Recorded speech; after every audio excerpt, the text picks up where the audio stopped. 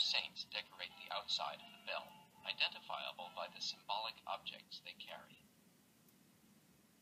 The key to the gate of heaven is carried by St. Peter in his left hand, while he blesses us with his right. St. Paul holds a sword, the instrument of his execution. St. John the Evangelist's book represents his writings. Thomas, patron saint of builders and architects, as a ruler.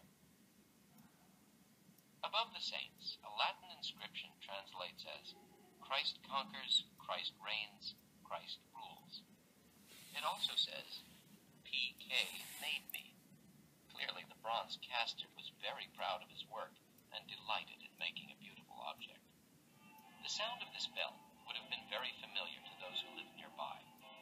church bells rang regularly throughout the day and night,